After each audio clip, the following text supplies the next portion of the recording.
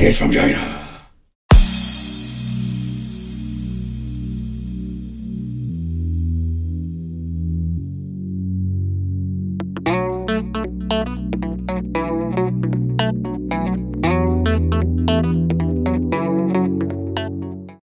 Welcome to the Wicked Gamer and Collector, welcome back to the YouTube channel. And in today's video we are going to do a little bit of a side-by-side -side comparison of two cheap ass sticks from China. I did have some problems with the left one. Um, I did have some problem and I'm going to show you what it is. So stay tuned and let's play some games. Alright, let's play some Street Fighter Third Strike. And this is the game where I noticed my problem. I'm just going to jump ahead and play this game. I'm going to choose uh, Akuma and the main reason is I can not do my move every time. That is something pretty damn weird. As you can see here I can do this Shoryuken but when I'm trying it again it's only punching. It's not very common that it happens with me. I'm not a professional gamer but I can do my Shoryuken and every time I try to do it, first I was thinking this was more like a personal handicap, but playing this game and even asking my buddy Neil Gunlock and he plays a lot of games with a fight stick and he had the same problem. So I figured out there was something wrong with this cheap arcade stick. So alright, I was thinking, alright, alright, let's try another game. Let's try Tekken 3. So when doing multiple angle moves, or I think that's how they call it, I noticed this problem, but if you're playing games like Soul Edge, Soul Blade, um, if you play Tekken, there is no problem at all. So it's it has this problem with Street Fighter. I tried it with a couple of Street Fighter games and they all have the same problem. As you can see here, the gen move, the flying or twisting kick, it works perfectly.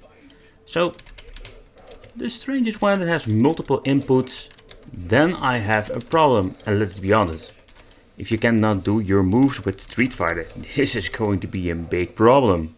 For me, because the games are freaking unplayable. I must say, uh, the left one is the cheap one from the arcade machine. As you can see already on the pin connector, it's really cheap. The left one is around let's say $5 and the right one is the new one I bought and these are around $10. No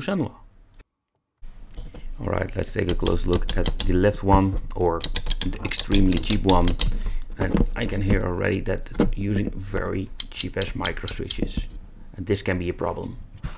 Let's take a close look at the second one, is the $10 version, the more expensive still, a Chinese knockoff of Sanwa. But nevertheless, it got a different build. So as you can see here, okay maybe here, it got some better switches. Alright, the moment of truth. I have swapped out the sticks. I must say they feel way better than the cheap ass versions.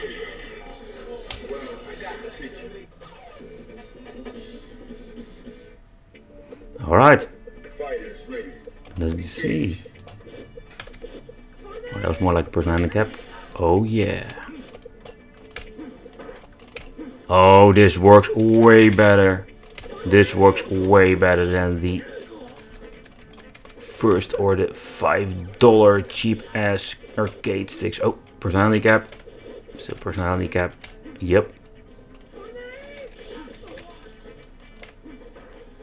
I can tell you already. I can tell you already. It was worth the money.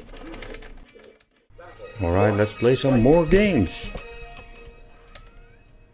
Of course, with the Chinese sticks, these games work just fine, but the special moves also requires the same movement like the Shoryuken. And it works instantly. And I also did so, I didn't record it, but I also did this or attempt to do that move, but it has the same result. So for the final conclusion, don't buy the cheapest arcade joystick you can find. $5 or again this one $10, just buy the $10 if you're on a tight budget and if you want to have the best stuff, just buy the original Sanwa buttons or joystick in this case. I want to thank you for watching. Don't forget to subscribe to the channel. For more gaming, check the gaming channel. And if you have any questions or feedback, leave it in the comments. And see you next time. Bye bye.